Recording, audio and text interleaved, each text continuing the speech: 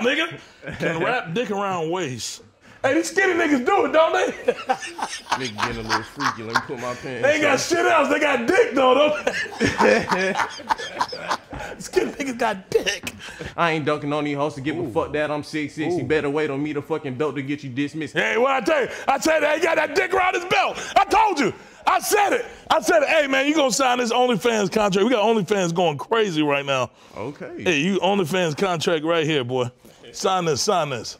Right there. Right there on that dotted line. OnlyFans. He opened the door with his dick. Look at him.